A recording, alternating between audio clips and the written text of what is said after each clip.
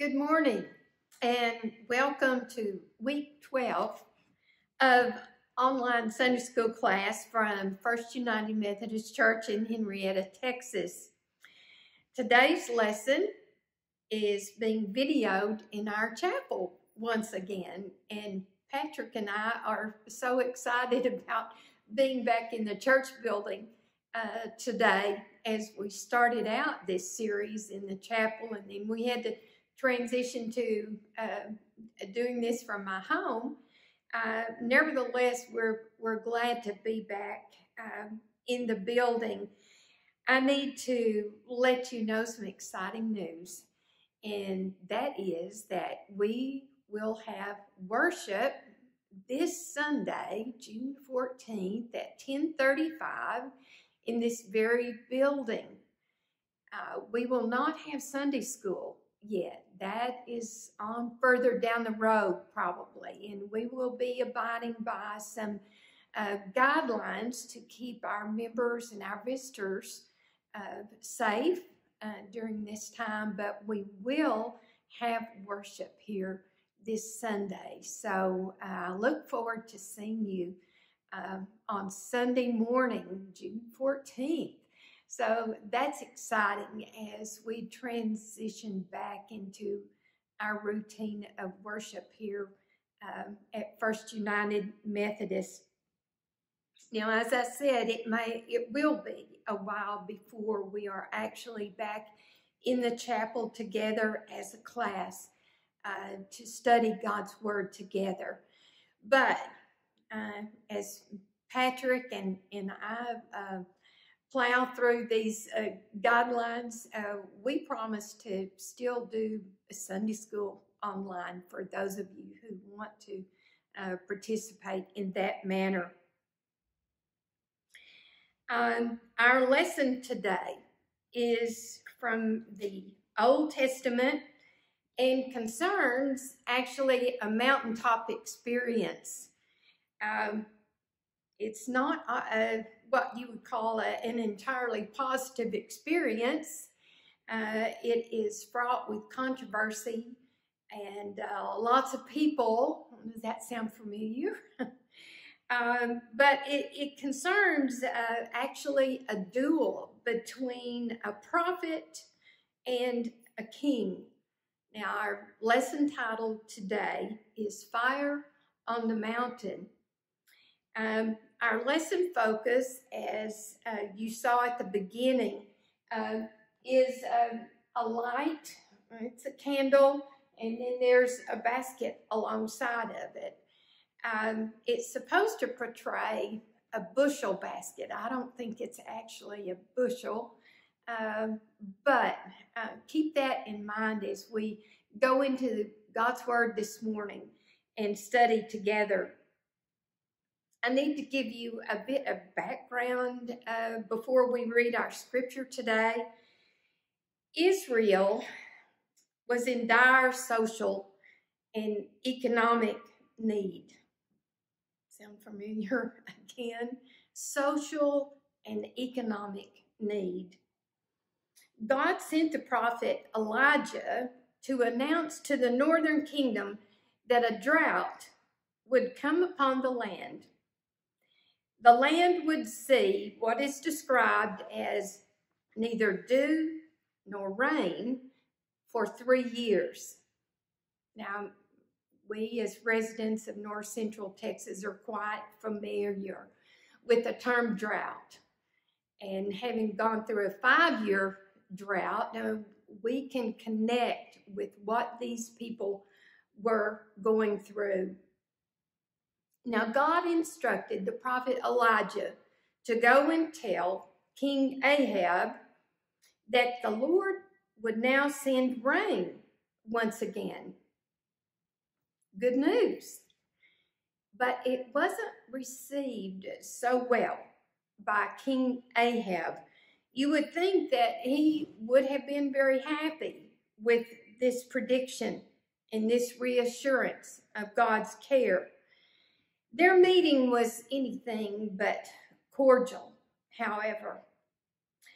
Elijah was also there to denounce evil that had come to plague the land.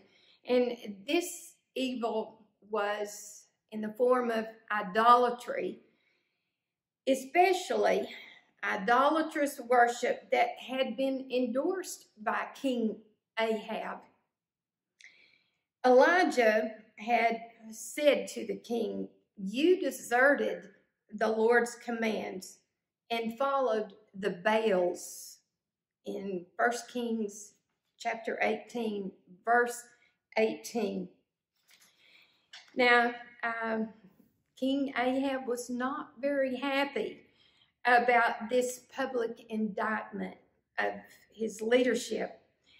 He gathered all the people of Israel along with 450 prophets of Baal. So this is the lineup. On the one hand, we've got the prophet Elijah of the one and true God versus 450 prophets of Baal led by King Ahab. So we've got a, a social uh, type thing, we've got a religious type thing, we've got a governmental type thing going on here as well. And there's much tension in the air, as you might imagine. Let me direct your attention now to the scripture for today. It's in the book of First Kings in the Old Testament, chapter 18, verses 20 through 39. It's, it's an extensive uh, reading this morning, but um, it's a great story. It will hold your attention, I'm convinced. Starting with verse 20 of chapter 18 of First Kings. Ahab, now remember he was the king, sent the message to all the Israelites. He gathered the prophets at Mount Carmel Elijah, he's the prophet of God, approached all the people and said, How long will you hobble back and forth between two opinions? If the Lord is God, follow God. If Baal is God, follow Baal. The people gave no answer. Let me direct your attention back to a key word in those first verses, and that word is hobble. When I began studying the lesson earlier this week, it drew my attention back to a shopping trip a, a few years back. Now, the shopping trip that I recalled, it, involved a good friend of mine, Jaquita Graves, and myself uh, being in a, a shoe store and uh, we dared each other to try on some metallic gold three inch spike heels. That was not a good idea at all. we were hobbling down the aisles of the DSW in Fort Worth. It wasn't a pretty sight, and we did not buy those shoes, by the way. Back to the scripture. Now, Elijah said to the people, I am the last of the Lord's prophets, but Baal's prophets number 450. Now just think of the difference in the numbers and the power of that sight with the people. Now he starts giving some instructions here. Give us two bulls.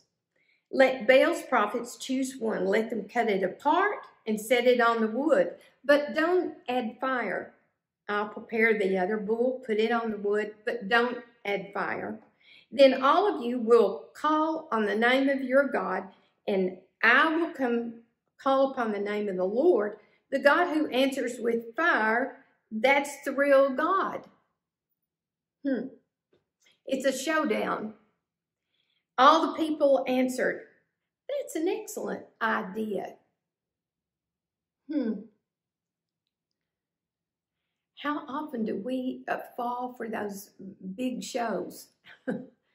you know, they wanted something spectacular. They were impressed um, with the uh, the idea. And sometimes it takes that much for us to get our attention fully undivided, doesn't it?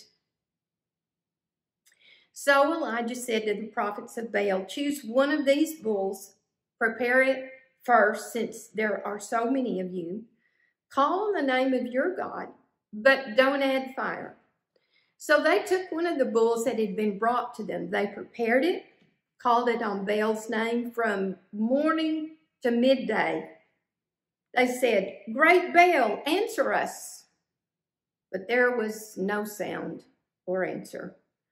They performed a hopping dance around the altar that had been set up. Around noon, Elijah started making fun of them. Hmm. He's kind of heckling, if you will. Shout louder. Certainly he's a god. Perhaps he is lost in thought or wandering or traveling somewhere. Or maybe he's asleep and must wake up. So the prophets of Baal cried with a louder voice and cut themselves with swords and knives as was their custom. Their blood flowed all over them.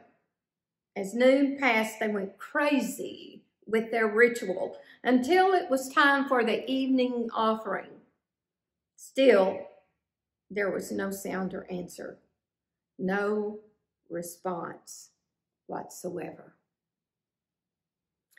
Then Elijah said to all the people, Come here. All the people closed in, and he repaired the Lord's altar that had been damaged. Elijah took 12 stones, according to the number of the tribes of the sons of Jacob, to whom the Lord's word came Your name will be Israel.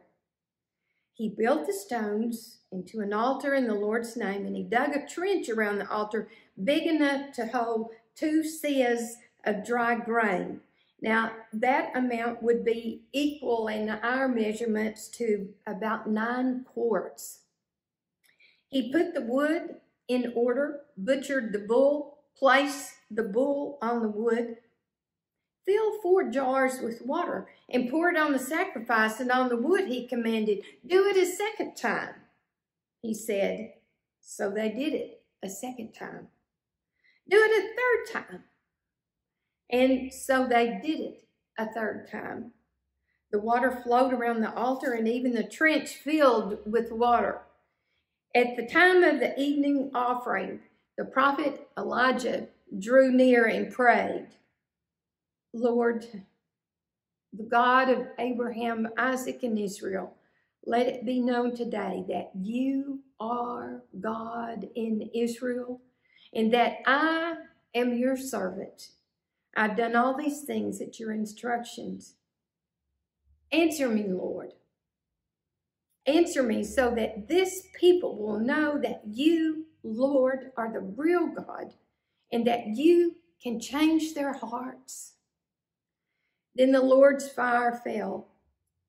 It consumed the sacrifice, the wood, the stones, and the dust it even licked up the water in the trench.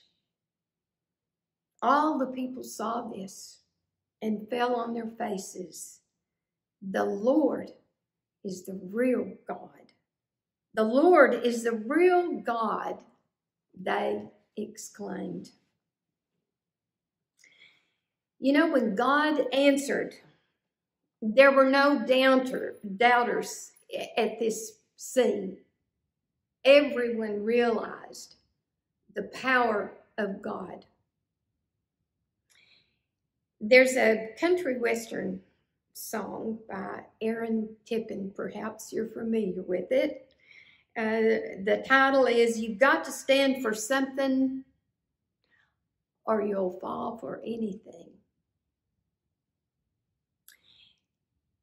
That song title really is appropriate for this story in the Old Testament. You've got to know where your beliefs come from. You've got to know the God that you profess. You will be called upon to profess his name someday.